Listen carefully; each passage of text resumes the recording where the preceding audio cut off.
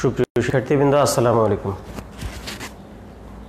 আজকের এই অনলাইন ক্লাসে তোমাদের সবাইকে স্বাগত জানাচ্ছি এবং শুভেচ্ছা জানাচ্ছি। আশা করি তোমরা সবাই ভালো আছো এবং তোমরা যে যেখানেই আছো, সুন্দরভাবে আছো, সুস্থভাবে আছো।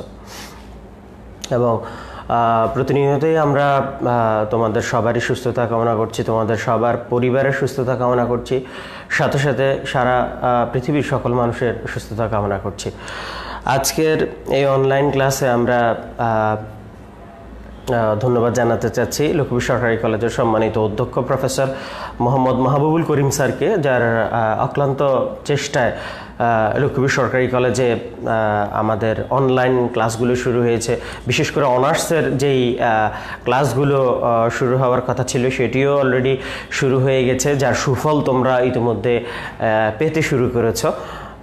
তো স্যারকে আন্তরিকভাবে ধন্যবাদ জানাই এবং আরও ধন্যবাদ জানাচ্ছি ইসলামিক স্টাডিজ বিভাগের সম্মানিত বিভাগীয় প্রধান সহযোগী অধ্যাপক জনাব মোহাম্মদ নুরুল আফসার চৌধুরী স্যারকে, যিনি আমাদেরকে এই অনলাইন ক্লাসগুলো করার বিভিন্ন বিষয়ে আমাদেরকে জানাচ্ছেন এবং উৎসাহিত, উৎসাহ দান করছেন প্রতিনিয়ত। তো ছেলেমেয়েরা তোমরা বাসায় থাকবে, সাবধানে থাকবে, এটাই তোমাদের কাছে আমাদের আশা এবং প্রত্যাশা। তো আজকে আমরা যে অনলাইন ক্লাসটি শুরু করব সেটা হচ্ছে আমাদের অনার্স প্রথম বর্ষের, আর বিষয় হচ্ছে introduction to Islam chapter three থেকে আমরা শুরু করব। তোমরা জানো যে তোমাদের চ্যাপ্টার থ্রি যেই চ্যাপ্টারটা আছে, সেটি হচ্ছে একটু বোর্ডের দিকে তোমরা একটু খেয়াল করো। চ্যাপ্টার থ্রিতে আমরা যেই টপিকটা আমরা পড়ছিলাম, সেটা হচ্ছে যে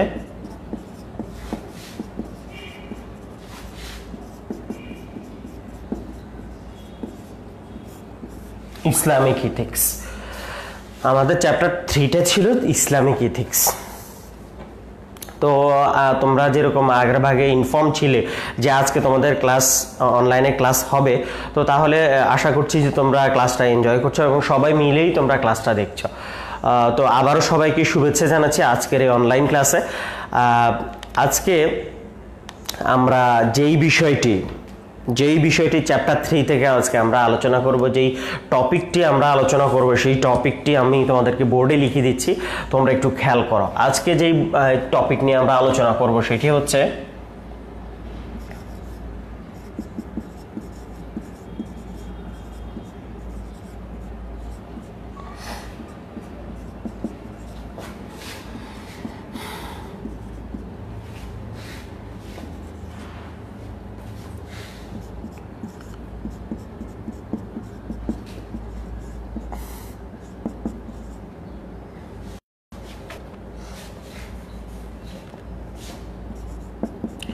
responsibilities of men to the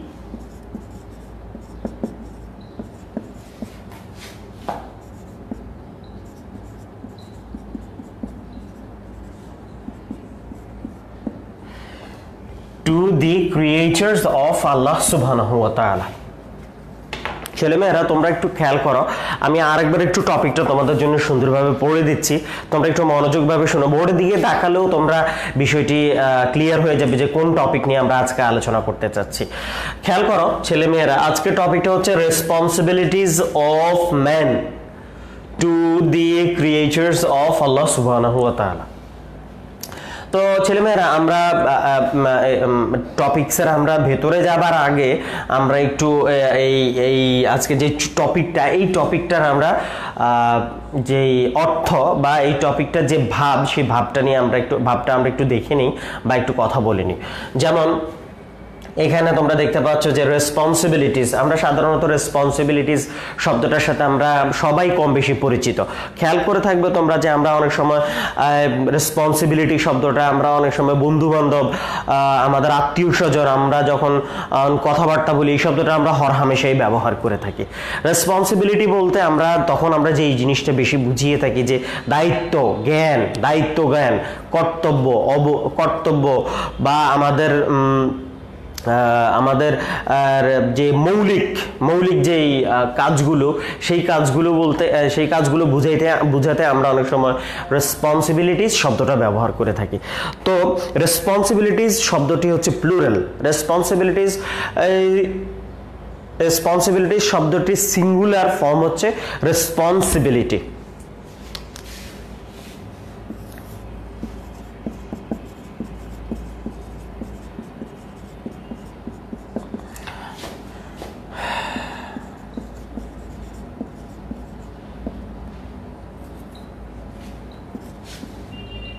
দায়িত্ব। আর যেহেতু রেসপন্সিবিলিটি শব্দটি প্লুরাল তাহলে আমরা এটার সাথে অ্যাড করতে পারি যে সমূহ। তার মানে রেসপন্সিবিলিটি শব্দটির অর্থ দাঁড়াচ্ছে দায়িত্ব সমূহ। তো খেয়াল করো রেসপন্সিবিলিটিস অফ ম্যান তাহলে কাদের দায়িত্ব সমূহ? রেসপন্সিবিলিটিস অফ ম্যান মানে হচ্ছে যে মানুষের দায়িত্ব সমূহ তোমরা জানো যে আমরা ইসলামিক ইথিক্স নিয়ে আলোচনা করতেছিলাম যে ইসলামের নৈতিকতা। ইসলামের নৈতিকতা আলোচনা করতে গিয়ে আমরা অনেকগুলো টপিক ইতোমধ্যে আমরা শেষ করেছি। এটা আমাদের চ্যাপ্টার থ্রির ইসলামিক ইথিক্স এই অধ্যায়ের সর্বশেষ টপিক এই টপিকে আমরা জানতে পারব যে যে মানুষের মধ্যে কি কি ধরনের দায়িত্ব সমূহ রয়েছে বা মানুষের একজন মানুষ হিসেবে, একজন হিউম্যান বিইং হিসেবে মানুষের কি কি দায়িত্ব রয়েছে? তো তার পরের অংশে আমরা আসি, যে responsibilities of man to the creatures of Allah সুবাহ তাআলা। টু দি মানে হচ্ছে যে প্রতি ক্রিয়েচার্স মানে হচ্ছে সৃষ্টি। ক্রিয়েচার শব্দটিও অ্যাজ লাইক লাইক প্লুরাল এটা সিঙ্গুলার ফর্ম হচ্ছে ক্রিয়েচার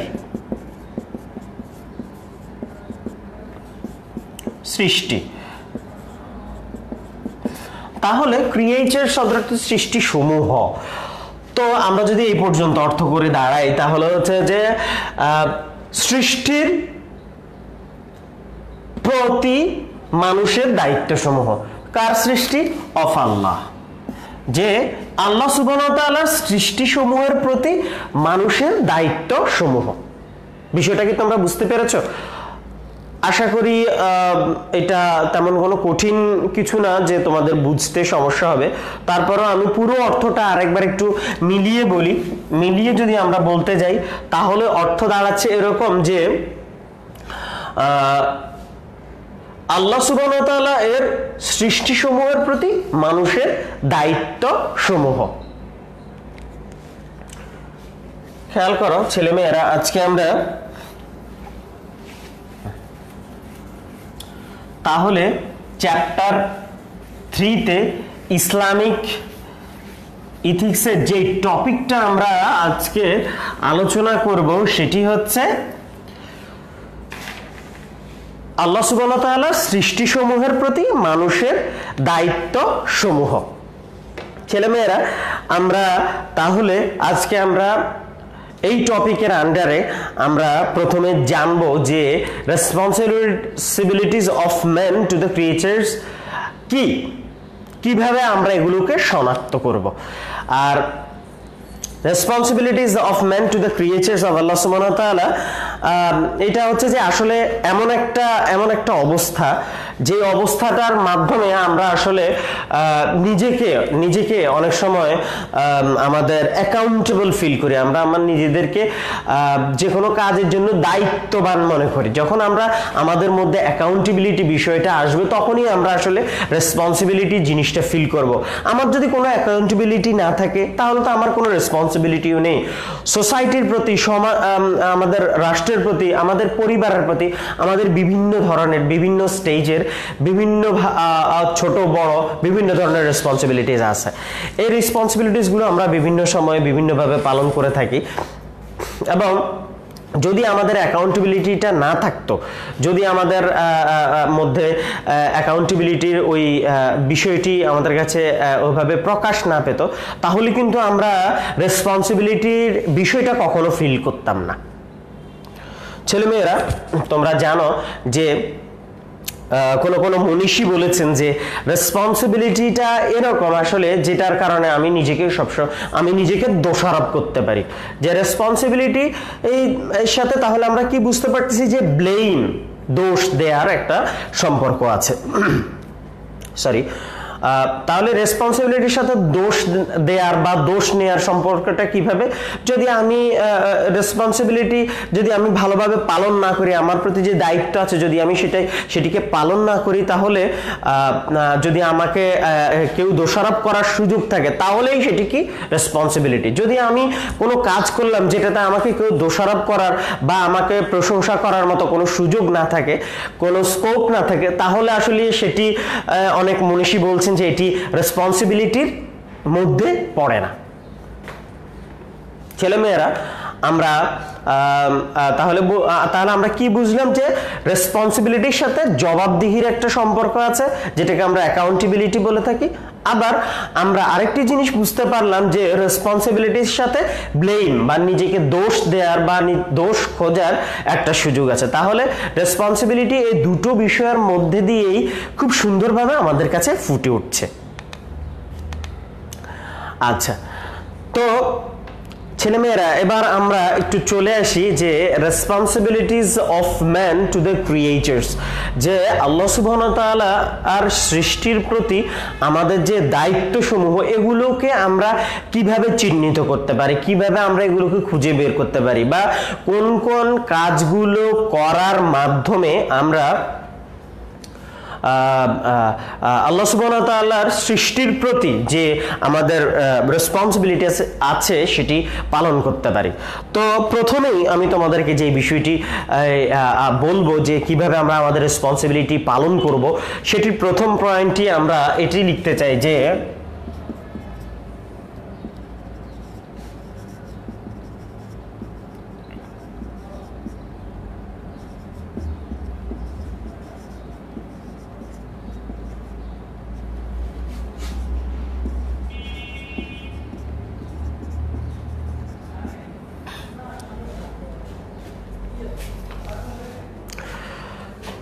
খেয়াল করো ছেলে মেয়েরা আমি লিখেছি যে আল্লাহর আইন মেনে চলা। প্রথম আমাদের আর আল্লাহ সুবান আর সৃষ্টির প্রতি আমাদের যে প্রথম দায়িত্ব রয়েছে, সেটির প্রথম ধাপটি হচ্ছে যে আল্লাহ সুবান আইনকে আমরা মেনে চলবো। ছেলেমেয়েরা, তোমরা জানো যে আল্লাহ সুবনতালা মানুষকে মানুষকে আল্লাহ সুবনতালার যত যত সৃষ্টি রয়েছে, এই সৃষ্টির মধ্যে আল্লাহ সুবনতালা মানুষকে উনি উনি সর্বশ্রেষ্ঠ সৃষ্টি সৃষ্টি বলে উনি পবিত্র কোরআনেও উল্লেখ করেছেন যে আল্লাহ সুবনতালা মানুষকে আশরাফুল মাখলুকাত হিসেবে সৃষ্টি করেছেন।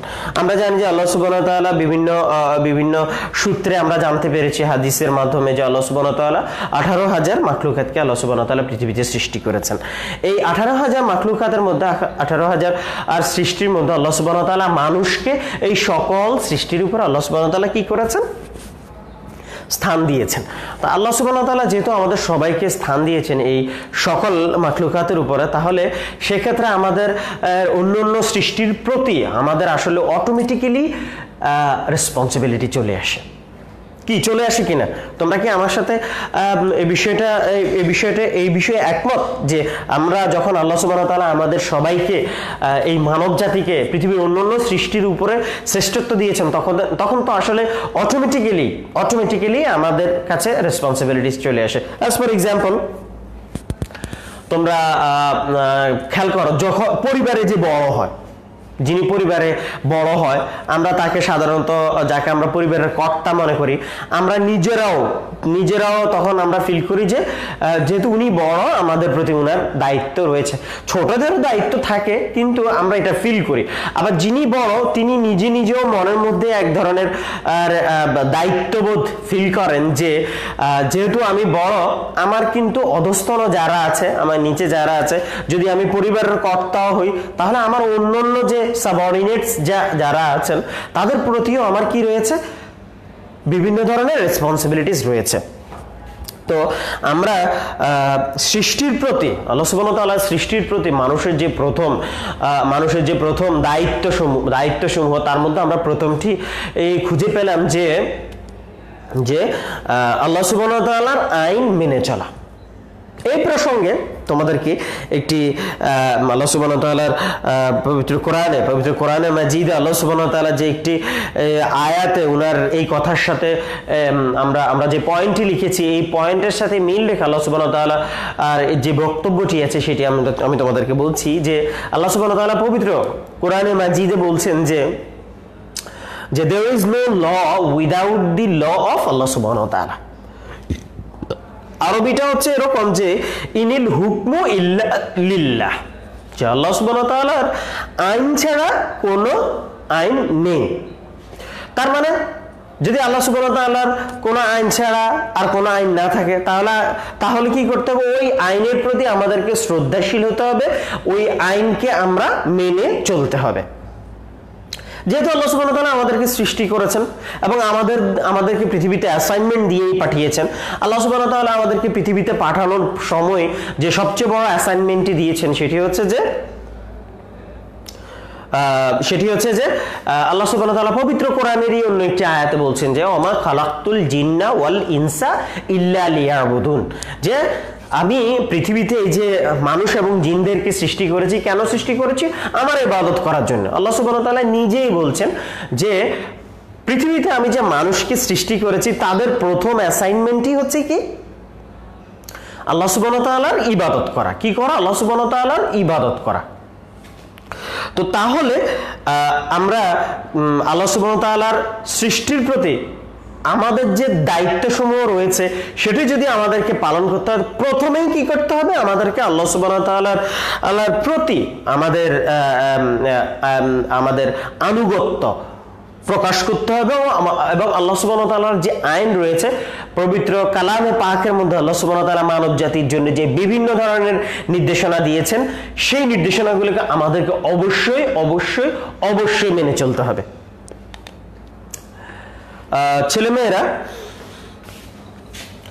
আমরা অন্য আরেকটি পয়েন্টে চলে যাই।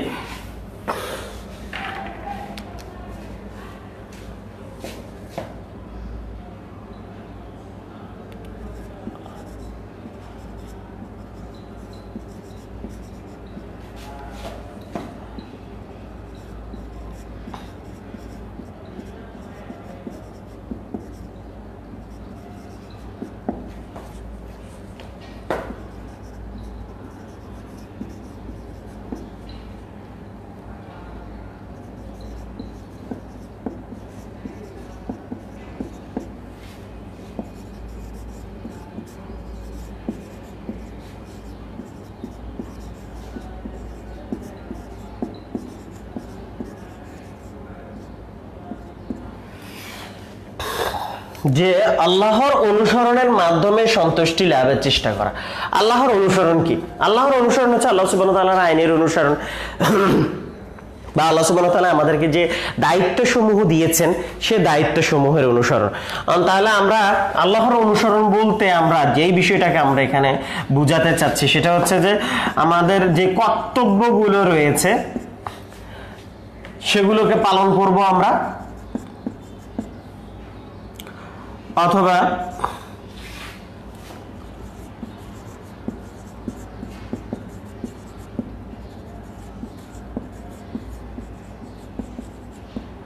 আইনের অনুসরণ অথবা দায়িত্ব পালন। ছেলেমেয়েরা, তাহলে আশা করি এই এই যে, যেই পয়েন্টটি আল্লাহ সুবহানাহু ওয়া আর সৃষ্টির প্রতি আমরা যে দায়িত্বসমূহ পালন করব, সেটি যে আমরা দ্বিতীয় যে পয়েন্টটি আমরা বের করেছি, সেটি হচ্ছে যে আল্লাহর অনুসরণের মাধ্যমে সন্তুষ্টি লাভের চেষ্টা করা। তাহলে যদি আমরা আল্লাহ সুবহানাহু ওয়া তাআলার দা- কর্তব্যগুলোকে পালন করতে পারি, আল্লাহ ওয়া তাআলার আইনের অনুসরণ করি, এবং আল্লাহ ওয়া তাআলা আমাদেরকে যে দায়িত্বগুলো দিয়েছেন সেই দায়িত্বগুলো যদি আমরা যথাযথভাবে পালন করি, তাহলেই আমরা আল্লাহ ওয়া তাআলার সন্তুষ্টি লাভ করতে পারব। আল্লাহ তাআলার সন্তুষ্টি লাভ এমন কঠিন কিছু নয়। খেয়াল করো, আল্লাহ সুবহানাহু ওয়া তাআলা পবিত্র কোরআনের অন্য আরেকটি আয়াতে আমাদেরকে দিক নির্দেশনা দিয়েছেন যে আল্লাহ সুবহানাহু ওয়া তাআলা বলছেন যে আল্লাহ সুবহানাহু ওয়া তাআলা নেভার আল্লাহ সুবহানাহু ওয়া তাআলা never wants the blood or the meat of your sacrificed animals যে আল্লাহ সুবহানাহু ওয়া তাআলা তোমার কাছ থেকে রক্তও চান না এবং তোমার মাংসও চান না। অর্থাৎ আল্লাহ ওয়া তাআলার রাস্তায় যে তোমরা স্যাক্রিফাইসেসগুলো করো সেই স্যাক্রিফাইসেসগুলো থেকে আল্লাহ ওয়া তাআলা কিন্তু কি চান না? যে আল্লাহ তাআলা আহ, সেগুলোর সেগুলোর রক্তও চান না আল্লাহ সুবহানাহু তাআলা সেগুলোর মাংসও চান না।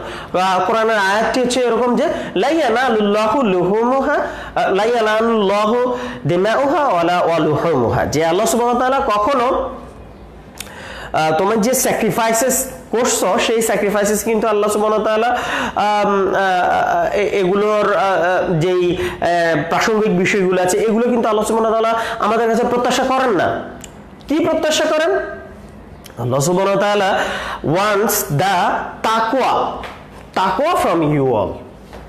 ওয়ালাকিন ইয়ানালুল্লাহ আনালু তাকওয়া মিনকুম যে আল্লাহ সুবহানাহু ওয়া তাআলা তোমাদের কাছ থেকে তাকওয়া চান আল্লাহ সুবহানাহু ওয়া তাআলা কি চান আমাদের কাছ থেকে তাকওয়া চান তাহলে আল্লাহ সুবহানাহু ওয়া তাআলা যেই বিষয়গুলো আমাদের কাছে প্রত্যাশা করেন সেগুলো আসলে তাহলে এখন আমরা বুঝতে পারছি যে বিষয়গুলো খুবই সাদামাটা। আল্লাহ আর যে যে মানুষের কাছে চাচ্ছেন যে আল্লাহ তাআলা কিন্তু আমাদের কাছে যে আমাদের কাছে টাকা চাচ্ছেন না। আল্লাহ তাআলা আমাদের কাছে আমাদের সম্পদ চাচ্ছেন না। এবং আল্লাহ তাআলা আমরা যে তার সন্তুষ্টির উদ্দেশ্যে যে আমরা প্রাণী জবে করি কুরবানির সময় করি, বিভিন্ন সাদাকা উপলক্ষে করি, বিভিন্ন ওয়াজিবাত পালনের জন্য আমরা যে যে স্যাক্রিফাইস করি। এই এই স্যাক্রিফাইসগুলো থেকে আল্লাহ ওয়া তাআলার কাছে কিছুই পৌঁছায় না। না রক্ত পৌঁছায়, না মাংস পৌঁছায়, না কিছুই পৌঁছায়। কিন্তু আল্লাহ ওয়া তাআলার কাছে শুধু পৌঁছায় কি? কি দৃশ্যমান হয়? সেটি হচ্ছে যে একমাত্র আমাদের তাকওয়া। তাহলে আল্লাহ ওয়া তাআলার যেই সৃষ্টির প্রতি সৃষ্টির প্রতি আল্লাহ সুবহানাহু, মানুষের যে দায়িত্ব সমূহ আল্লাহ ওয়া তাআলা যে দায়িত্বগুলো আমাদেরকে দিয়েছেন, ওই দায়িত্বগুলো যদি আমরা পালন করতে যাই এবং সে পালন করতে গিয়ে করতে গেলে আমাদের কাছে যে বিষয়টি স্পষ্ট হয়ে উঠে সেটি হচ্ছে যে আল্লাহ ওয়া সন্তুষ্টি লাভের চেষ্টা করা। এবং আল্লাহ ওয়া সন্তুষ্টি আমরা লাভের চেষ্টা করব বিভিন্ন ধরনের কার্যক্রমগুলোকে সম্পাদনের মাধ্যমে। সেই কার্যক্রমগুলো কি কি? সেই কার্যক্রমগুলো হচ্ছে যে আল্লাহ ওয়া তাআলার যে কর্তব্যগুলো আমাদেরকে দিয়েছেন, সেই কর্তব্যগুলো পালন করা, আল্লাহ ওয়া তাআলার আইনের অনুসরণ করা, আল্লাহ ওয়া তাআলা যে দায়িত্বগুলো যে দায়িত্বগুলো আমাদের কাছে দিয়েছেন সেই দায়িত্বগুলো আমরা কি করা? সেই দায়িত্বগুলো আমরা পালন করা। তাহলে এই দায়িত্বগুলো যখন আমরা নিজেদের মধ্যে নিয়ে আসব, নিজেরা পালন করা শুরু করব এবং নিজেরা পালন করার সাথে সাথেই তখন আল্লাহ ওয়া সৃষ্টির প্রতি আমাদের যে দায়িত্ব সেটি পালন হয়ে যাবে। ছেলেমেয়েরা, আমরা পরের যে পয়েন্টটি আছে, সেই পয়েন্টের দিকে যাচ্ছি।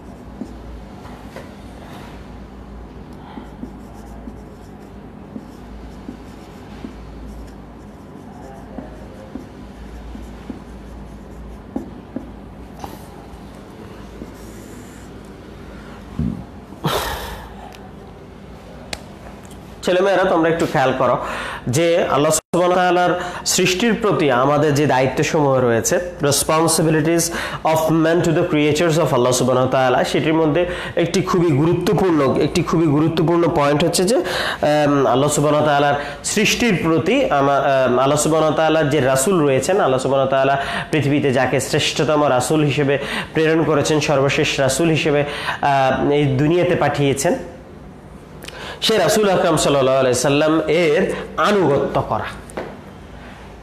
এবং এর সাথে সাথে তার আদেশ নিষেধ সমূহ মেনে চলা। যে আমরা রাসুল আকরম সাল্লাহ সাল্লামের আদেশ নিষেধ সমূহ মেনে চলবো এবং পাশাপাশি তাকে আনুগত্য করব। তাকে কি করব? আমরা আনুগত্য করব। যেটাকে আমরা আমরা বলি যে একদম ডিভোটেড ফলোয়িং যেটাকে ইংরেজিতে বলা হয় যে কারোর প্রতি একদম অনুরক্ত থেকে এই ডিভোশনের সাথে তাকে ফলো করা। তো আল্লাহ সুবাহ যে সৃষ্টির প্রতি আমাদের যে দায়িত্বসমূহ, সে দায়িত্বসমূহের মধ্যে আরেকটি খুবই গুরুত্বপূর্ণ পয়েন্ট আমরা পাচ্ছি যে রাসুল আকরম সাল্লাহ সাল্লাহ আলাইসাল্লামের আনুগত্য করা। তোমরা তো জানো যে আল্লাহ রাসুল আকরম সাল্লাহ সাল্লামকে যদি আল্লাহ সুবাহ সৃষ্টি না করতেন, তাহলে এই পৃথিবীকে হয়তো বা আল্লাহ সুবান তালা সৃষ্টি করতেন না। এই সমগ্র সৃষ্টিকে হয়তো বা আল্লাহ সুবান তালা বানাতেন না। রাসুল আকরম সাল্লাহ সাল্লামের কারণেই হয়তো বা এই পৃথিবীকে সৃষ্টি করা হয়েছে বা তাকে উসিলা করেই হয়তো বা আল্লাহ সুবান তালা এই পৃথিবীকে বাসযোগ্য করেছেন। পৃথিবীতে বিভিন্ন ধরনের ক্রিয়েচার্সকে আল্লাহ সুবান তালা পাঠিয়েছেন। তো ঠিক একইভাবে তাহলে এবং যে রাসুল রাসুল সাল্লাহ সাল্লামকে আল্লাহ সুবান তাল্লাহ সবচেয়ে বেশি সবচেয়ে বেশি পছন্দ করতেন। এবং রাসুল আকরম সাল্লাহ সাল্লামের উসিলা করেই কিন্তু বিভিন্ন সময়ে বিভিন্ন নবীগণও কিন্তু দোয়া দোয়া করেছেন। এবং যে দোয়া আল্লাহ সুবান তাল্লার কাছে কিন্তু কবুল হয়েছিল। তো তাহলে আল্লাহ সুবাহতালা আর যে প্রিয় রাসুল, শেষ নবী হজরত মোহাম্মদ সাল্লাহ আলিয়াল্লাম তাকে প্রথমে আমাদেরকে কি করতে হবে? তার প্রতি আমাদের আনুগত্য নিয়ে আসতে হবে। অন্য একটি হাদিসে এসেছে যে যে ততক্ষণ পর্যন্ত আমরা আল্লাহ সুবাহ প্রিয় বান্দা হতে পারব না, যতক্ষণ পর্যন্ত না আমরা রাসুল আকরাম সাল্লামকে আমরা সবচেয়ে বেশি ভালোবাসতে পারব। আর ভালোবাসাটার সাথে আনুগত্যের কিন্তু একটি বড় বড় সম্পর্ক রয়েছে। ভালোবাসা যদি না থাকে তাহলে কিন্তু সেখানে কখনো আনুগত্য থাকে না। আমি যদি কাউকে ভালোবাসতে নাই পারি, তাহলে কিন্তু আমার মধ্যে তার প্রতি আনুগত্য আসবে না। যদিও আসে, সেটা কিন্তু সাময়িক। সেটা কিন্তু সাময়িক। ভয়ে অনেক সময় আমরা আনুগত্য করি। কিন্তু সেটা আসলে কিন্তু সাময়িক। সেটার স্থায়িত্ব কিন্তু বেশি দিনের জন্য হয় না। কিছুদিন পরে সেটি নিয়ে যেতে পারে।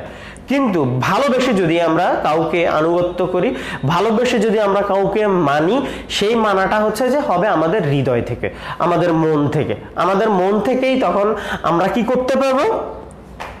কাউকে ফলো করতে পারব, কাউকে আনুগত্য করতে পারব। তাহলে আর রাসুল আকরাম সাল্লাহ সাল্লামকে আমরা কেন আনুগত্য করব? রাসুল আকরাম সাল্লাহ সাল্লামকে আমরা আনুগত্য করব এই কারণে যে রাসুল আকরাম সাল্লাহ সাল্লাম আমাদের কথাই সবসময় চিন্তা করেছেন। আমাদের ভালোটাই উনি সবসময় চিন্তা করেছেন। এবং আমাদের ভালো করার জন্যই কিন্তু রাসুল আকরাম সাল্লাহ সাল্লামকে আল্লাহ সুবাহ পৃথিবীতে পাঠিয়েছেন। যে যাতে আল্লাহ সুবাহ আর যে বিভিন্ন অ্যাসাইনমেন্ট পৃথিবীতে আছে, আল্লাহ সুবাহ আমাদেরকে যে সমস্ত আদেশ নির্দেশ নিষেধ পালন করার জন্য বলেছেন, আল্লাহ তালার যে আইনগুলোকে আমাদেরকে পালন করে, পালন করার জন্য বলেছেন, সেটি যেন রাসুল আমাদেরকে হাতে কলমে দেখিয়ে দিতে পারেন। এবং হাতে কলমে দেখিয়ে দিয়ে আল্লাহ সুবাহ তালার পথে যেন আমরা সবসময় থাকতে পারি, তাওহিদকে আমরা যেন মেনে চলতে পারি সেটি যেন আমরা সবসময় পালন করতে পারি, সেটির দিক নির্দেশনা দিয়েছেন। আল্লাহ সুবান তালা রাসুল আকরম সাল্লাহ সাল্লামের কাছে পবিত্র কোরআনে পাক পাঠিয়ে আমাদেরকে সেই নির্দেশগুলো, নির্দেশনাগুলো সবসময় দিয়েছেন। সেটার বাইরেও রাসুল আকরম সাল্লাহ সাল্লামের বিভিন্ন বক্তব্যের মাধ্যমে যেটাকে আমরা হাদিস হিসেবে জানি শূন্য হিসেবে পালন করি, সেই সেই দিকগুলো দিয়েও, সেই প্রসঙ্গগুলো দিয়েও আল্লাহ সুবান তালা আমাদেরকে এই আল্লাহ সুবাহ আমাদেরকে রাসুল আকরম সাল্লাহ সাল্লামের আনুগত্য করার প্রতি আমাদেরকে দিক নির্দেশ দিয়েছেন। আমরা যদি রাসুল আকরম সাল্লাহ সাল্লামকে আনুগত্য করি, তাহলে কিন্তু আমাদের অনেকগুলো লাভ আমরা ইতিমধ্যে জানতে পেরেছি যে সেটি কীরকম যে আমরা আমরা আল্লাহ সুবাহ তাল্লার রাসুলকে আনুগত্য করার মাধ্যমে আমরা জান্নাত পেতে পারি, আমরা সঠিক পথের উপরে থাকতে পারি, আমরা গোমরাহ হব না, আমরা সুস্থ সুন্দরভাবে পৃথিবীতে চলতে পারব। আমরা আমরা আমাদের প্রতিবেশীর কি হক রয়েছে সেটি সম্পর্কে আমরা জানতে পারব। রাষ্ট্রের প্রতি রাষ্ট্রের প্রতি আমাদের দায়িত্ব রয়েছে সে দায়িত্ব সমূহ সম্পর্কে আমরা জানতে পারব। তার পাশাপাশি পরিবারের প্রতি আমাদের কি দায়িত্ব রয়েছে সেটিও আমরা জানতে পারব। আমরা কীভাবে জ্ঞান অর্জন করব, আমরা কীভাবে জ্ঞান অর্জন করে সেটিকে সবার মাঝে বিতরণ করে দিব, সবার মাঝে ছড়িয়ে দিব, সেটিকেও আমরা জানতে সেটিও আমরা জানতে পারি। আরও আমরা জানতে পারি আমরা কীভাবে মানুষের সাথে আচরণ করব, কীভাবে আমরা ব্যবহার করব, আমাদের সংস্কৃতি কি হবে, আমাদের প্রতিদিনকার কাজকর্মর মানদণ্ড কি হবে, এই সবগুলোই কিন্তু আমরা রসুল্লাহ আকরাম সাল্লামের যে যে যে দিক নির্দেশনা রয়েছে সেটির মধ্যে আমরা পাই। আর সেই দিক নির্দেশ বলে সর্বপ্রথম আমাকে কি করতে হবে? আমাকে রাসুল আকরম সাল্লাহ সাল্লামের আনুগত্য করতে হবে। আর সে আনুগত্যতা আনুগত্যটি হতে হবে আমাদের ভালোবাসা থেকে, ভালোবাসার স্থান থেকে। যখন আমাদের আনুগত্য হবে, তখন সেই আনুগত্যটা এই হবে সবচেয়ে সুন্দর এবং সবচেয়ে সবচেয়ে মধুর একটি আনুগত্য। ছেলেমেয়েরা তোমাদেরকে আমি আরেকটি বিষয় বলতে চাই যে রাসুল আকরম সাল্লাহ সাল্লামের আনুগত্যের পাশাপাশি যে আমাদের যেই বিষয়গুলো আরও ফলো করতে হবে সেটা হচ্ছে যে তার আদেশ এবং নিষেধ সমূহ এখানে আমরা দুটি বিষয় খেয়াল করি, যে একটি হচ্ছে যে আদেশ আর একটি হচ্ছে নিষেধ।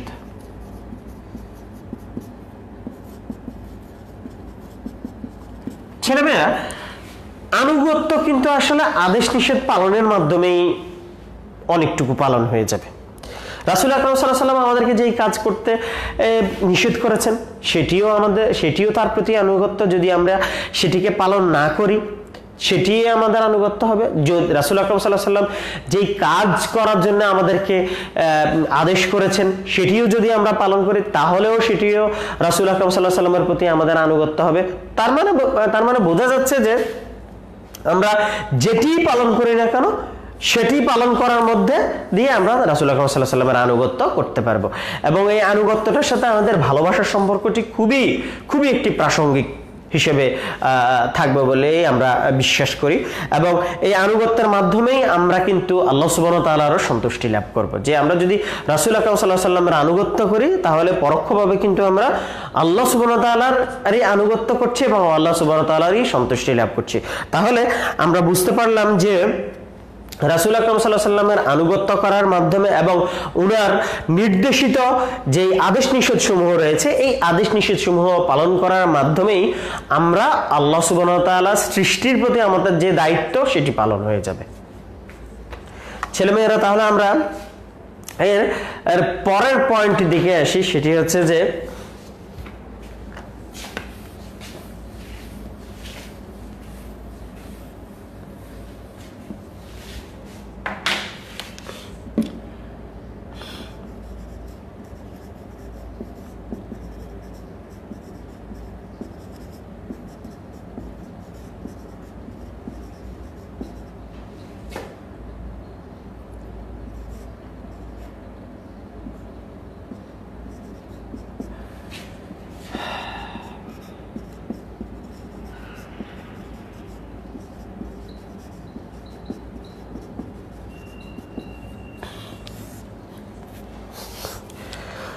ছেলেমেয়েরা, এই একটি পয়েন্টের মাধ্যমে কিন্তু আমাদের অনেকগুলো কথা চলে আসছে। আমরা শুধু মৌলিক, আমরা যে মৌলিক দিকগুলো আছে, আমরা সেই আমাদের দায়িত্ব সময় যে মৌলিক দিকগুলো আছে, সেই মৌলিক দিকগুলোই কিন্তু আমরা আজকে আলোচনা করব। যাতে করে আমরা আমাদের যে টপিকটা আছে টপিকটা যেহেতু আমরা কাভার করতে পারি তো আমরা এখন যে পয়েন্ট নিয়ে আলোচনা করব সেটি হচ্ছে যে সামাজিক ও পারিবারিক শৃঙ্খলাবোধ, সামাজিক ও পারিবারিক শৃঙ্খলাবোধ। তাহলে আমরা এই যে শৃঙ্খলাবোধকে আমরা মেনে চলবো, এখানে আমরা কিন্তু দুটি দিক দেখতে পাই। একটি হচ্ছে যে সামাজিক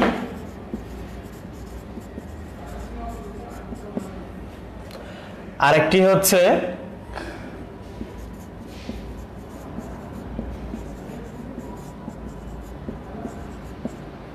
পারিবারিক।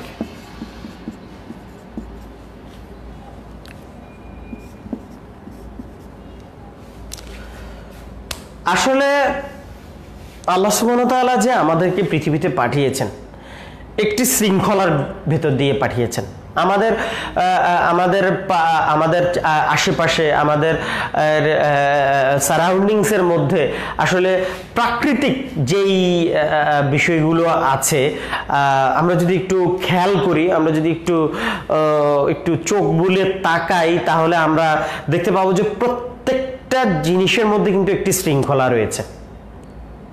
প্রত্যেকটা জিনিসের মধ্যে কি রয়েছে? একটা শৃঙ্খলা রয়েছে। শৃঙ্খলা আর যে চেইন শৃঙ্খলার যে চেইনটা এই চেইনটা যদি আসলে মেনটেন না করা হয়, তাহলে যে কোনো সময় কিন্তু আসলে শৃঙ্খলার মধ্যে বিশৃঙ্খলা চলে আসবে। খেয়াল করো ছেলে মেয়েরা যে এই আমরা আমরা প্রকৃতিতে, আমরা জানি যে সূর্য সূর্য একটি নির্দিষ্ট কক্ষপথে কিন্তু ঘুরছে। তার মানে তার জন্য একটি শৃঙ্খলা রেখে দেওয়া হয়েছে, যে একটি চেইন রেখে দেওয়া হয়েছে, যে এই চেইন হিসেবে তুমি কিন্তু কি করবে? তুমি তোমার গতিপথে তুমি পরিভ্রমণ করবে। ঠিক একইভাবে পৃথিবী। পৃথিবীর মধ্যেও কিন্তু একটি চেইন রাখা আছে। সে তার নিজ কক্ষপথেই কিন্তু আবর্তন করছে। আবার আমরা যদি এর বাইরে দিন রাতের কথা ভাবি, দিন যাচ্ছে, রাত আসছে, একটা শৃঙ্খলার মধ্যে দিয়ে আসছে।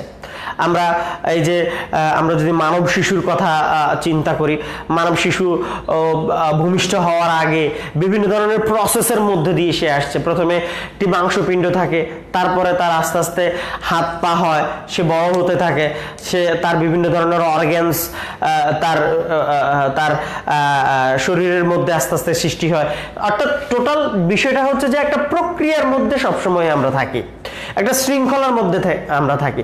অনেক সময় হয়তো আমরা নিজেরা এই এই প্রাকৃতিক যে চেইন আছে, যে অর্ডার আছে, এই অর্ডার মধ্যে আমরা সব হয়তো বা অনেক সময় বিঘ্ন ঘটাই। এই বিঘ্ন ঘটানোর কারণে কি হয়? বিশৃঙ্খলা সৃষ্টি হয়। ঠিক একইভাবে আমাদের সোসাইটি এবং আমাদের ফ্যামিলি এই দুটো বিষয়ে কিন্তু আসলে একটি নির্দিষ্ট একটি নির্দিষ্ট চেইনের মধ্য দিয়েই থাকে। এই চেইন যদি আমরা ফলো না করি, তাহলে কিন্তু আসলে আমাদেরকে বড় ধরনের বিশৃঙ্খলার মধ্যে দিয়ে পড়তে হবে। ছেলেমেয়েরা সেটি কেমন?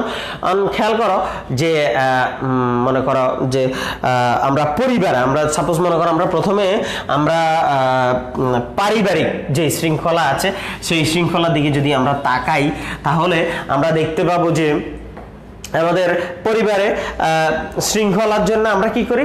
আমরা আমাদের পরিবারের যিনি কর্তা আছেন, আমরা তাকে প্রথমে মেনে চলি। আমাদের পরিবারে বিশেষত আমরা দুজন কর্তাকেই দেখতে পাই। প্রথমে আমরা দেখি যে আমরা, প্রথমে দেখি যে আমরা বাবা, তারপরে দেখি আমরা কাকে, আমরা দেখি মাকে। এরপরে সিরিয়ালি আমরা বাবা মার আর বাবা মার সাথে আমরা সিরিয়ালি হয়তো বা এরপরে আমরা কাকে আনতে পারি, আমরা এরপরে সিরিয়ালে আনতে পারি। আমাদের যদি বয়োজ্যেষ্ঠ ভাই থাকেন, তাকে আনতে পারি। আমাদের যদি বয়োজ্যেষ্ঠ বোন থাকে, তাকে আনতে পারি। তারপরে আমাদের যদি দাদা থাকে, দাদু থাকে, তাদেরকে আমরা আনতে পারি। নানা যদি থাকে, নানি থাকে, আমরা তাদেরকেও আনতে পারি।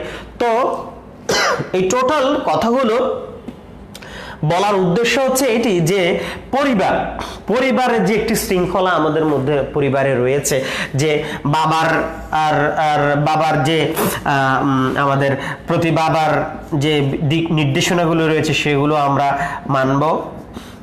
মায়ের যে নির্দেশনাগুলো রয়েছে, আমরা সেগুলোকেও মেনে মেনে চলবো। তাহলেই কিন্তু আমাদের পরিবারের শৃঙ্খলাটা বজায় থাকবে। তাহলে আমরা অনেক সময় দেখি যে বাবা মারা আমাদেরকে বিভিন্ন কাজে আমাদেরকে আমাদেরকে মানা করেন করতে নিষেধ করেন, তখন কিন্তু আমাদের খারাপ লাগে। আমরা তাদের কথা অনেক সময় আসলে শুনতে চাই না।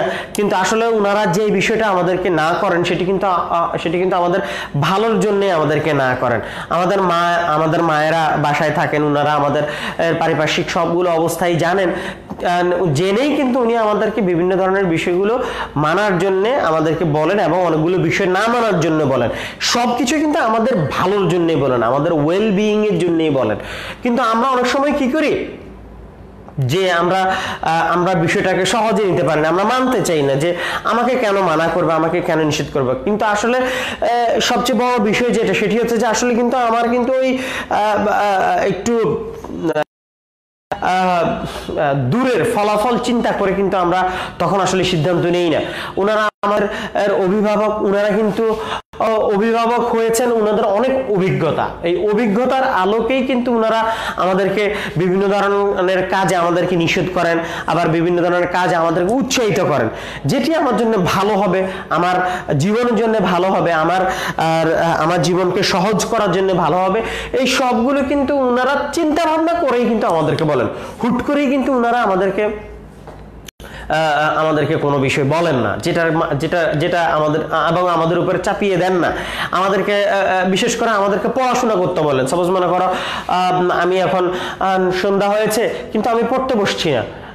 আমি পড়তে বসছি না, আমি বাইরে যাচ্ছি, আমি বন্ধুদের সাথে আড্ডা দিচ্ছি, আমি মোবাইলে চ্যাট করছি, আমি আমি গেমস খেলছি।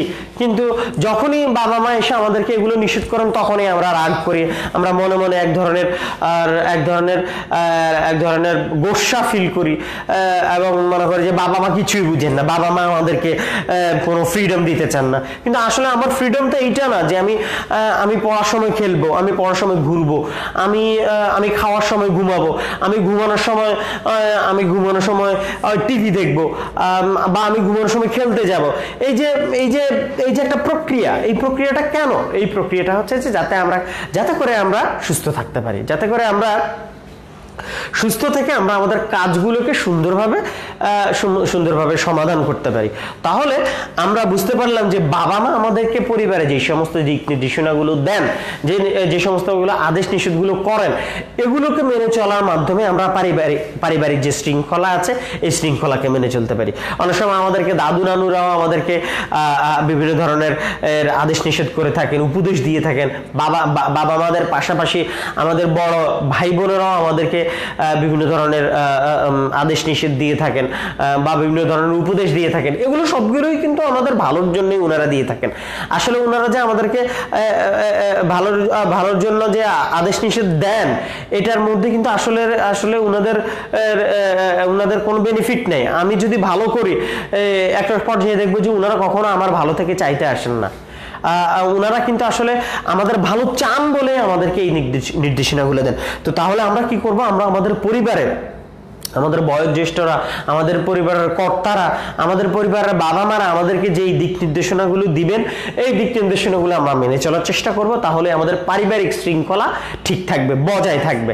এর পাশাপাশি আমরা আরেকটি যে পয়েন্ট নিয়ে কথা বলতে চাচ্ছিলাম যে সামাজিক যে শৃঙ্খলা। সামাজিক একটি শৃঙ্খলা রয়েছে। সামাজিক শৃঙ্খলার মধ্যে আমরা রাসুল আকরম সাল্লাহ সাল্লাম আমাদেরকে অনেকগুলো দিক উনি ওনার বক্তব্যের মাধ্যমে বিভিন্ন ধরনের হাদিসে আমাদেরকে জানিয়েছেন এবং সামাজিক যে আমাদের বিভিন্ন ধরনের দায়িত্ববোধ রয়েছে, সেই দায়িত্ববোধ সম্পর্কে রাসুল আকরম সাল্লাহ সাল্লাম বিভিন্ন সময় আমাদেরকে দিক নির্দেশনা দিয়েছেন।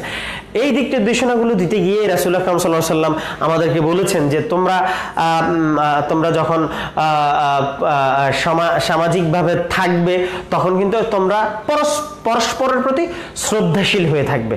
পরস্পরের প্রতি শ্রদ্ধাশীল হবার মাধ্যমেই কিন্তু আমরা সামাজিক শৃঙ্খলাকে আমরা মেনটেন করতে পারব। এছাড়াও রাসুল এখন সাল্লাহ সাল্লাম যে ইসলামিক যে বিভিন্ন কালচার রয়েছে, ইসলামিক বিভিন্ন কালচার আর মাধ্যমে কালচার পালন করার মাধ্যমে, ইসলামী সংস্কৃতিকে আমাদের প্র্যাকটিসের মাধ্যমে আমরা কিন্তু সামাজিক যে আমাদের শৃঙ্খলাবোধ সেটিকে আমরা আবার আবার পুনরুদ্ধার করতে পারি। রাসুল আকরম সাল্লাহ সাল্লামের একটি হাদিসে স্পষ্ট রয়েছে যে তোমাদের আশেপাশে চল্লিশ বাড়ি পর্যন্ত কিন্তু তোমাদের প্রতিবেশী এবং তোমাদের প্রতিবেশীর কিন্তু তোমাদের উপরে হক রয়েছে। তোমাদের প্রতিবেশীর প্রতিবেশী প্রতিবেশীর কিন্তু অন্যদের উপর অধিকার রয়েছে। এবং রাসুল আকরম সাল্লাহ সাল্লাম এর বাইরেও আমাদেরকে অন্য একটি হাদিসে বলেছেন যে একজন মুমিনের উপর আরেকজন মুমিনের কিন্তু নির্দিষ্ট অনেকগুলো হক রয়েছে। কোন কোন হাদিসে রাসুল আকরম সাল্লাহ সাল্লাম বলেছেন যে একজন মুমিনের উপর একজন মুমিনের ছয়টি হক রয়েছে। একজন অন্য কোনো হাদিসে এসেছে যে দশটি হক রয়েছে। তো আসলে এই হক বা এই অধিকারগুলো বলার উদ্দেশ্য হচ্ছে যে আমাদের যে সোশ্যাল চেইন আছে, এই চেইনটা যেন আমরা ঠিক রাখতে পারি, ঠিক রাখতে পারি। এই হকগুলো আদায় করলেই কিন্তু আসলে আমাদের যে সামাজিক যে সামাজিক যে শৃঙ্খলা, এই শৃঙ্খলাটি কিন্তু আবার পুনঃপ্রতিষ্ঠিত হবে। কেন? আমরা যদি আমাদের প্রতিবেশীদের সাথে ভালো ব্যবহার করি, প্রতিবেশীদেরকে তাদের হকগুলো দিয়ে দেওয়ার চেষ্টা করি, বা প্রতিবেশীর প্রতি আমাদের যে বিভিন্ন দায়িত্ব রয়েছে, সে দায়িত্বগুলো যদি আমরা পালন করি, তাহলে কিন্তু আসলে আমাদের আমাদের সমাজটি হবে সবচেয়ে সুন্দর সমাজ এবং সবচেয়ে সবচেয়ে অর্থ অর্থবহ একটি সমাজ। এবং যার যার বিভিন্ন দৃষ্টান্ত কিন্তু আমরা রসুল আকরম সাল্লাহ সাল্লামের সময়েও দেখেছি। তার পরবর্তী যে খুলাফায় রাশিদিন ছিলেন, তাদের সময়েও আমরা দেখেছি। তার পরবর্তী যে আমাদের ইসলামী বিভিন্ন যুগের শাসকগণ রয়েছেন যারা আসলে ইসলামকে সত্যিকার অর্থেই তাদের মধ্যে ধারণ করেছেন এবং রাষ্ট্রে প্রতিষ্ঠা করেছেন। তাদের আহ, আমরা দেখেছি যে এই সমস্ত সামাজিক চেইনগুলো পালন করার মাধ্যমে কিন্তু আমাদের সমাজে শৃঙ্খলা বজায় ছিল। তাহলে ছেলেমেয়েরা, আমরা বুঝতে পারলাম যে যদি আমরা আল্লাহ সুবাহতালার আর সৃষ্টিসমূহের প্রতি যদি আমরা দায়িত্বগুলো পালন করতে চাই, তাহলে কিন্তু আমাদেরকে অবশ্যই অবশ্যই আমাদের পারিবারিক ও সামাজিক শৃঙ্খলাকে আমাদের মেনে চলতে হবে। এবং এটির মাধ্যমেই আমরা সৃষ্টির প্রতি আমাদের দায়িত্ব পালন করতে পারব।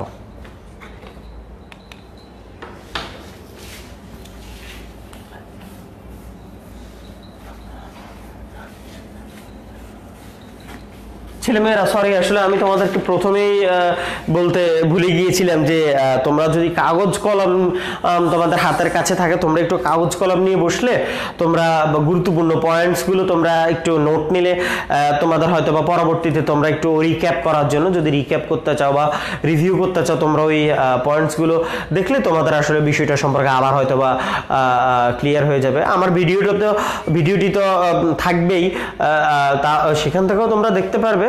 অথবা তোমরা নোটস থেকেও তোমরা হেল্প নিতে পারবে। তো ছেলেমেয়েরা, আমরা এখন আরেকটি গুরুত্বপূর্ণ পয়েন্ট নিয়ে এখন কথা বলব, যেটি আসলে খুবই বর্তমান সময়ের জন্য বর্তমান সময় না প্রতিটি সময়ের জন্য যেটি আসলে সমভাবে গুরুত্বপূর্ণ। সরি একটু খেয়াল করো।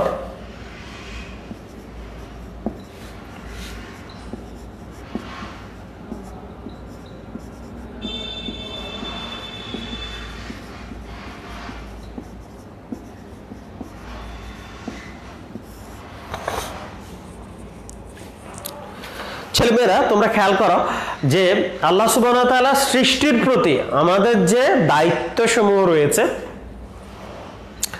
সেটা যদি আমরা পালন করতে যাই, তাহলে আমাদেরকে অবশ্যই অবশ্যই রাষ্ট্রের আনুগত্য করতে হবে। রাষ্ট্রের আনুগত্য করতে হবে। আসলে রাষ্ট্র ছাড়া আসলে মানুষের জীবন কিন্তু আসলে সুখকর হয় না। পৃথিবীতে আমরা যদি বিভিন্ন রাষ্ট্রহীন মানুষের দিকে তাকায়, যারা আসলে তাদের রাষ্ট্রের জন্য যুদ্ধ করে যাচ্ছে, তাদের জীবন কিন্তু আসলে অনেকাংশে দুর্বিষহ হয়ে থাকে। অনেক সময় আমরা দেখি যে অনেকে অর্থহীনভাবে অনেক সময় রাষ্ট্রের জন্য কন্ট্রিবিউশন করতে পারেন না। কিন্তু আসলে এই বিষয়টি কিন্তু সে বিষয়গুলোর সাথে প্রাসঙ্গিক নয়। সেজন্য আমাদের কি করতে হবে? আমরা যেই রাষ্ট্রেই বসবাস করি না কেন, আমরা যেই রাষ্ট্রেরই নাগরিক হই, আমাদেরকে অবশ্যই অবশ্যই ওই রাষ্ট্রের প্রতি আনুগত্য করতে হবে। আর রাষ্ট্রের প্রতি যদি আমাদেরকে আনুগত্য করতে হয় তাহলে অবশ্যই আমরা রাষ্ট্রের সরকারের প্রতি কিন্তু আমাদেরকে কি করতে হবে? আনুগত্য করতে হবে। রাষ্ট্রের সরকার নিয়েই, জনগণ নিয়েই কিন্তু আসলে একটি রাষ্ট্র। একটি রাষ্ট্রের আমরা জানি যে বিভিন্ন উপাদান রয়েছে, যে বিভিন্ন উপাদান দিয়ে আসলে একটি রাষ্ট্র গঠিত হয়। সেই গঠিত সেই উপাদানগুলোর মধ্যে কিন্তু একটি খুবই গুরুত্বপূর্ণ উপাদান হচ্ছে যে নাগরিক। একজন নাগরিক হিসেবে, একজন নাগরিক হিসেবে আমাদের যে প্রথম, আমাদের যে প্রথম দায়িত্বটুকু চলে আসে সেটি হচ্ছে যে রাষ্ট্রের প্রতি আনুগত্য করা। রাষ্ট্রের প্রতি আনুগত্য করার ব্যাপারে রাসুল আকরম সাল্লাহ সাল্লাম বিভিন্ন দিক নির্দেশনা দিয়েছেন। এবং রাষ্ট্রের আনুগত্য যদি একজন নাগরিক না করতে পারে, তিনি, সে কিন্তু আসলে প্রকৃত নাগরিক হয়ে কখনোই উঠতে পারবে না। রাষ্ট্রের নাগরিক হওয়ার রাষ্ট্রের নাগরিক হলে প্রথম আমার যে দায়িত্ব হবে, সেটি হচ্ছে যে আমাকে কি করতে হবে? রাষ্ট্রের আনুগত্য করতে হবে। রাষ্ট্রের আনুগত্যের বাইরে গিয়ে আমার কিন্তু নাগরিক হবার কিন্তু কোনো সুযোগ নেই। আর যদি আমি রাষ্ট্রের আনুগত্য নাই করি, তাহলে তো আমি নাগরিক না। আমি তো সে রাষ্ট্রের শত্রু। তাহলে একজন রাষ্ট্র একটি রাষ্ট্র যখন যখন প্রতিষ্ঠিত হয়, তখন তার নাগরিকদের কাছে রাষ্ট্রের যে প্রথম চাওয়া থাকে, যে রাষ্ট্রের নাগরিকদের প্রতি রাষ্ট্রের প্রথম যে ডিমান্ড থাকে, সেই ডিমান্ডটি হচ্ছে রাষ্ট্রের নাগরিকগণ কি করবে? রাষ্ট্রকে আনুগত্য করবে। এবং আমরা দেখতে পাচ্ছি যে রাসুল আকরম সাল্লাহ সাল্লাম যে বিভিন্ন চুক্তিগুলো করেছিলেন, বিভিন্ন প্যাক্ট তার ঐতিহাসিক জীবনে বিভিন্ন সময় করেছিলেন। হুদাই বিয়া তারপরে এর পাশাপাশি অন্যান্য রাষ্ট্রে, অন্যান্য রাষ্ট্র গোত্রের সাথে রাসুল আকরম সাল্লাহ সাল্লাম যে বিভিন্ন সময় চুক্তি করেছেন। এই চুক্তির উদ্দেশ্যেই কিন্তু ছিল একটি যে যে নাগরিকরা সেই এলাকাগুলোতে বাস করে, সেই নির্দিষ্ট টেরিটরি যাতে বাস করে, সেই তাদের মধ্যে রাষ্ট্রের প্রতি একটি আনুগত্য সৃষ্টি করা। রাষ্ট্রের প্রতি আনুগত্যের একটি ভাব নিয়ে আসা। যখনই আমার রাষ্ট্রের আনু, রাষ্ট্রের প্রতি একটি আনুগত্যের ভাব চলে আসবে, রাষ্ট্রের আনুগত্য যখন আমি করা শুরু করব, তখনই কিন্তু আমি রাষ্ট্রের যে নেতৃত্ব রয়েছে, রাষ্ট্রের যে সরকার রয়েছে, সেই সরকার প্রতি আমার আনুগত্য চলে আসবে। এর পাশাপাশি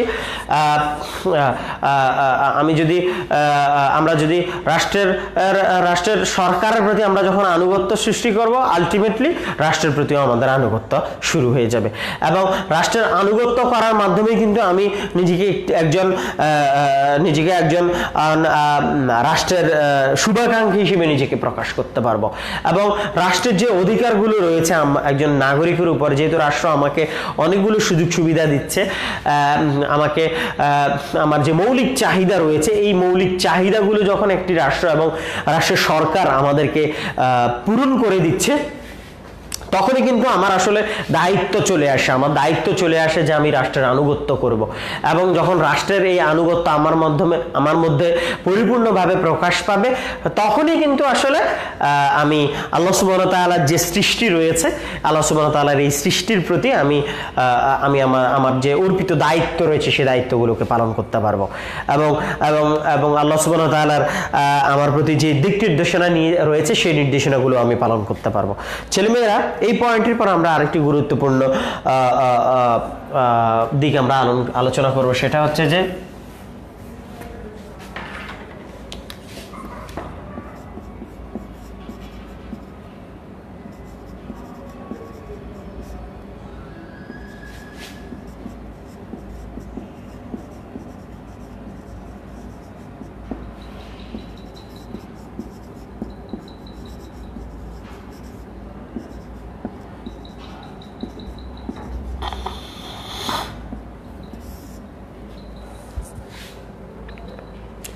সেটি হচ্ছে যে পরিবেশ ও প্রতিবেশের কি করা? পরিবেশ ও প্রতিবেশের ভারসাম্য রক্ষা করা। তাহলে আমরা যদি আল্লাহ সুবাহ তাল্লাহার সৃষ্টির প্রতি আমাদের যে দায়িত্ব রয়েছে সেটি সেগুলো যদি আমরা পালন করতে চাই তাহলে সুচারুভাবে পালন করতে চাই তাহলে আমরা কি করতে হবে? আমাদের পরিবেশ এবং প্রতিবেশ যেটি রয়েছে সেটির সেটির প্রতি আমাদের যে দায়িত্ব রয়েছে সেটি পালন করতে হবে এবং সেটি পালন করতে গেলে আমাদেরকে কি করতে হবে? এটার ভারসাম্যকে রক্ষা করতে হবে। আমরা এখন কি করি? আমাদের মধ্যে আসলে এখন আহ, আমাদের যে পরিবেশ রয়েছে পরিবেশের যে ভারসাম্য রক্ষার জন্য আমাদের যে কাজগুলো করা দরকার আমরা আসলে সেই কাজগুলো করছি না। আমরা প্রতিনিয়ত আমাদের পরিবেশ এবং প্রতিবেশের ক্ষতি সাধনই করে যাচ্ছি। এবং এই ক্ষতি সাধন করতে গিয়েই আমরা সৃষ্টির প্রতি আসলে অবিচার করছি।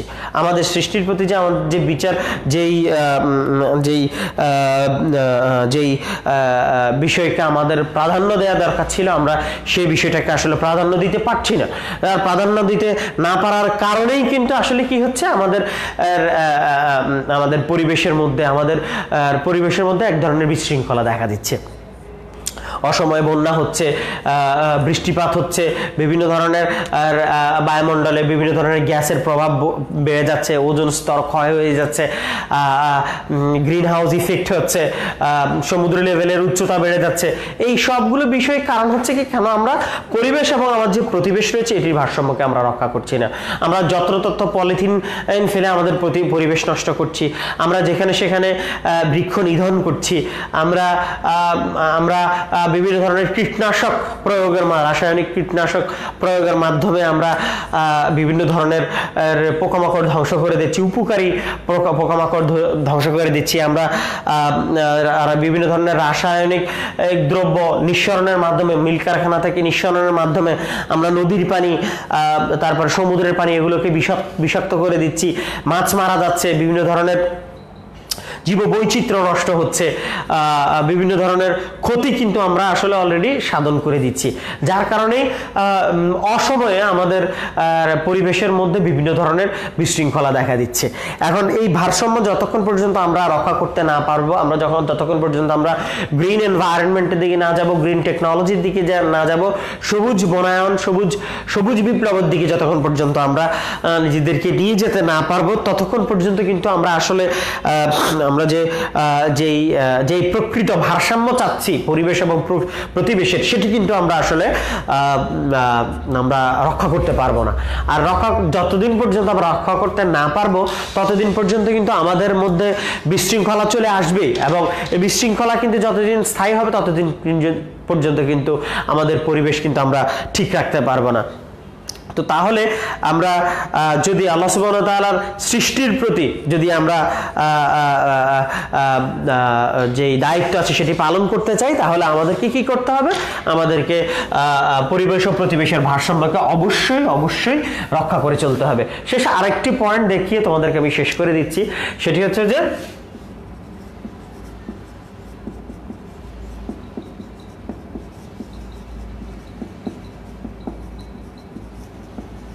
অন্যান্য সৃষ্টির প্রতি যত্নবান হওয়া।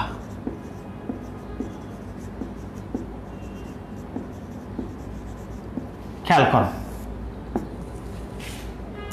তাহলে আমাদের আল্লাহ সুবাহ যে আঠারো হাজার মাকলুকাত সৃষ্টি করে আমাদেরকে এদের সবার শ্রেষ্ঠ সবার উপরে শ্রেষ্ঠত্ব দিয়েছেন। কিন্তু এর বাইরে যে বাকি আঠারো হাজার সতেরো হাজার, নয়শো নিরানব্বই যে অন্যান্য সৃষ্টি রয়েছে এদের প্রতি কিন্তু আমাদেরকে যত্নবান হতে হবে। আল্লাহ সুবাহ এদের প্রতি আমাদের যতটুকু হক আদায় করা দরকার, আমাদেরকে কিন্তু এটার হক আদায় করতে হবে। আমাদেরকে এই সৃষ্টির প্রতি যত্নবান হতে হবে। যত কথাই আমরা বলি, আসলে এই সবাইকে নিয়েই কিন্তু আমাদের এই পৃথিবী। আমাদের এই পৃথিবী, এই ততক্ষণ পর্যন্ত আমাদের বসবাসের উপযোগী থাকবে। যতক্ষণ পর্যন্ত আমরা এদের সবার প্রতি যত্নবান হব। আমরা যতদিন, যেই দিন আমরা যত্নবান হওয়া ছেড়ে দিব, তত তখনই কিন্তু আসলে আমাদের পরিবেশের মধ্যে এক ধরনের ভারসাম্যহীনতা সৃষ্টি হবে। এবং তাদের যত্ন নিলেও কিন্তু তারা কিন্তু আমাদের যত্ন নিবে। আমরা যে যে মাছ চাষ করি, একটি ছোট্ট উদাহরণ দিয়ে আমি শেষ করে দিচ্ছি। আমরা যে মাছ চাষ করি আমরা কি করি? প্রতিনিয়ত তাদেরকে খাবার দিই, তাদেরকে পরিচর্যা করি, তাদের পুকুরের পানি যাতে নষ্ট না হয়, সেদিকে খেয়াল রাখি, একটা সময় করে তাদেরকে খাবার দেই, তাদেরকে আবার যাতে তারা অনেক সময় আমরা যদি টবে আমরা যদি ছোট্ট অ্যাকোরিয়ামে চাষ করি, তাদের অক্সিজেনের ব্যবস্থা করি। কেন? আমরা তাদেরকে এত যত্ন নিচ্ছি কেন? তাদেরকে যত্ন নিচ্ছি তাদের কাছ থেকে যাতে আমি বেনিফিটটা পেতে পারি। এখন তাদের কাছ থেকে যদি আমি বেনিফিট চাই, তাদের কাছ থেকে আমি সুফল চাই, কিন্তু তাদেরকে আমি যত্ন নেই না। তাহলে কিন্তু এই তারা কিন্তু আমাকে কোনো ফিডব্যাক দিবে না। আর এই ফিডব্যাক যদি না দেই, তাহলে কিন্তু আমাদের পরিবেশের মধ্যে আমাদের, আর আমাদের যে সৃষ্টি আছে, যে চেইন আছে, এই চেইনটার মধ্যে একটা সমস্যা দেখা দিবে। সমস্যা দেখা দিলেই কিন্তু আমাদের যে বেঁচে থাকার প্রক্রিয়া, এটার মধ্যে আমাদের বিভিন্ন ধরনের প্রবলেম সৃষ্টি হবে। আর তাই যদি আমরা এই প্রবলেমগুলোকে এড়িয়ে যেতে চাই সলভ করতে চাই, তাহলে আল্লাহ সুবাহ তাল্লাহ যে অন্যান্য সৃষ্টি রয়েছে, সেগুলোর প্রতি আমাদেরকে যত্নবান হতে হবে। তো ছেলেমেয়েরা আজকে আমরা আল্লাহ সুবাহতালার সৃষ্টির প্রতি আমাদের যে দায়িত্ব সমূহ রয়েছে, এটি বিভিন্ন সালে এই প্রশ্নটি বিভিন্ন সালে পরীক্ষায় এসে থাকে। এই প্রশ্নটি খুবই গুরুত্বপূর্ণ। দুই সাত সালেও জাতীয় বিশ্ববিদ্যালয়ের পরীক্ষায় এসেছিল এবং খুব সম্ভবত দু হাজার তেরো সালেও একবার এসেছিল যে আল্লাহ সুবাহতাল্লাহ সৃষ্টির প্রতি যে দায়িত্ব সমূহ রয়েছে, সেগুলোকে সেগুলো বর্ণনা করা। তো আমরা আজকে যে পয়েন্টগুলো দেখেছি, এই পয়েন্টগুলো যদি আমরা নিজেরা নিজেদের মধ্যে আরেকবার একটু রিক্যাপ করতে পারি, তাহলে কিন্তু আমাদের এই যে সৃষ্টির যে প্রশ্নটি যদি বোর্ডে প্রশ্ন আসে, তাহলে আমরা সেটির উত্তর খুব সুন্দরভাবে লিখতে থাকব। ছেলেমেয়েরা, আজকের এই আলোচনা সম্পর্কিত যদি তোমাদের কোনো প্রশ্ন থেকে থাকে, তাহলে তোমরা আমাকে কমেন্ট লাইনে যে অপশনস রয়েছে, ওই ওই কমেন্ট লাইনে তোমরা আমাকে কমেন্ট করে সেখানে প্রশ্ন করতে পারো। আমি আমার সুযোগ মতো তোমাদেরকে প্রশ্নগুলোর উত্তর দেওয়ার চেষ্টা করব। এর বাইরে, প্রশ্নের বাইরেও যদি তোমাদের কোনো জিজ্ঞাসা থাকে বা ক্লাস সম্পর্কিত যদি তোমাদের কোনো পরামর্শ থেকে থাকে তোমরা সেই পরামর্শগুলো আমাদেরকে দিতে পারো। আমরা নেক্সট টাইম সেগুলোকে মেনটেন করার চেষ্টা করব এবং আজকে যে কয়জন তোমরা ক্লাস দেখেছ, তোমাদের অন্য অন্য যে ক্লাসমেটরা রয়েছে, সহপাঠীরা রয়েছে, তাদেরকেও তোমরা সংবাদটি পৌঁছে দিবে যে তোমাদের অনলাইনে ক্লাস হচ্ছে এবং এর পাশাপাশি তাদেরকে তোমাদের নেক্সট যে ক্লাস রয়েছে, এই ক্লাসগুলো রুটিনও তোমরা তাদেরকে একটু সার্ভ করে দেওয়ার চেষ্টা করবে। আশা করি এই স্বল্প সময়ের মধ্যে তোমাদেরকে আহ, মোটামুটি যা আজকে যে টপিক ছিল সেটার আলোচনা আমরা মোটামুটি শেষ করেছি। হয়তোবা তোমরা যদি আমার সরাসরি সামনে থাকতে তাহলে হয়তো আরেকটু প্রাণবন্তভাবে তোমাদের সাথে ইন্টারাক্ট করার মাধ্যমে আজকের ক্লাসটা আরও সুন্দরভাবে শেষ করতে পারতাম। যাই হোক হয়তো আমরা সেই দিনের অপেক্ষায় আছি হয়তোবা সেই দিন বেশি দূরে নয় যেদিন আমরা আবার সবাই একসাথে মিলিত হবে আবার আমরা প্রাণবন্তভাবে আমরা ক্লাস করব। তো সে সে পর্যন্ত সে পর্যন্ত তোমরা সবাই ভালো থাকবে এবং যে রাষ্ট্র বাংলাদেশ, গণপ্রজাতন্ত্রী বাংলাদেশ সরকারের পক্ষ থেকে আমাদের জন্য যে স্বাস্থ্যবিধি আমাদেরকে প্রণয়ন করা হয়েছে, এই করোনাকালীন সময়ে তোমরা সেই স্বাস্থ্যবিধি মেনে চলবে এবং তোমরা জানো যে এখন খুবই পিক আওয়ার চলতেছে করোনার তো তোমরা আসলে একটু নিজেদেরকে মেনটেন করে চলার চেষ্টা করবে। লক্ষ্মীপুরে এখন অনেক আক্রান্ত রয়েছেন। আশা করি যাতে আমাদের সোশ্যাল ট্রান্সমিশনটা খুব কম হয় সেদিকটাও তোমরা খেয়াল রাখবে। তো, তোমরা সবাই সুস্থ থাকবে। তোমরা আল্লাহ সুবাহ তাআলা তোমাদের সবাইকে ভালো রাখুক। আমা- আমাকেও, আমার জন্য তোমরা দোয়া করবে এবং লক্ষ্মী সরকারি কলেজের সকল ছাত্রদের জন্য তোমরা সবাই দোয়া করবে এবং লক্ষ্মী সরকারি কলেজের যত কর্মরত, যত কর্মচারীরা রয়েছে তাদের সবার জন্য তোমরা সবাই দোয়া করবে। এবং এই বলেই তোমাদের কাছে আজকে থেকে, আজকে বিদায় নিচ্ছি। সবাই ভালো থাকবে। সবাইকে অসংখ্য ধন্যবাদ।